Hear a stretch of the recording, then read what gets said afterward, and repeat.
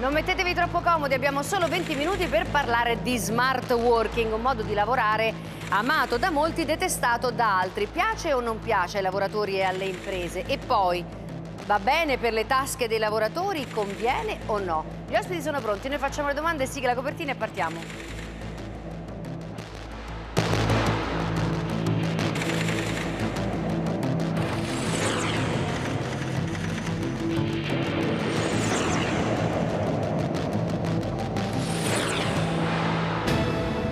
Poi abbiamo con noi il professor Fabio Fortuna, economista e rettore dell'Università Cusano. Professor Fortuna, il numero dei lavoratori coinvolti, l'abbiamo visto, è elevato, sì. ma quanto pesa lo smart working sull'economia generale? Ah, questa è una bella domanda a cui è un po' difficile rispondere. Intanto pesa a seconda dei soggetti che consideriamo, nel senso che i lavoratori sicuramente dallo smart working possono avere dei risparmi di costi mm. perché evitano spostamenti, possono lavorare da una sede a distanza, le imprese a loro volta possono avere dei risparmi di costi che derivano dalla mancanza di necessità di postazioni fisse e quindi di un luogo fisico dove operare. Sull'economia generale il peso reale, anche se ci sono state delle analisi, è un po' difficile da determinare. Certamente lo smart working è qualcosa che è destinato a entrare nella nostra realtà in modo più prepotente, anche perché nel resto del mondo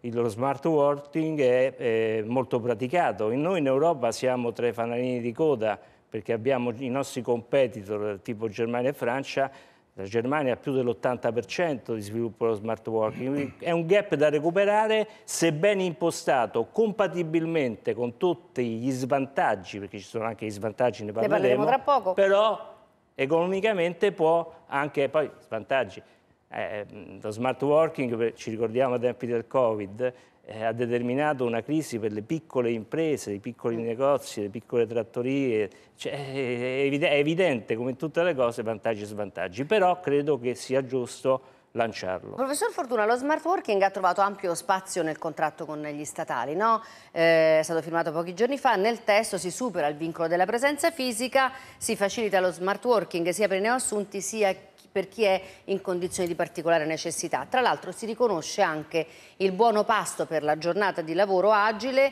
eh, svolta con stesse, le stesse diciamo, caratteristiche eh, di quelle in presenza. In sostanza questo che cosa vuol dire? Come cambia anche la pubblica amministrazione? Ma intanto dobbiamo premettere che lo Stato è un'azienda, cioè eh, ah. come esistono le imprese, anche lo Stato è un'azienda, è un'azienda particolare perché mentre le imprese hanno come finalità il lucro, gli utili, cioè conseguire risultati positivi. Invece lo Stato è un'azienda, diciamo noi studiosi di economia aziendale, di erogazione o di consumo, perché raccoglie le risorse per soddisfare le esigenze della collettività.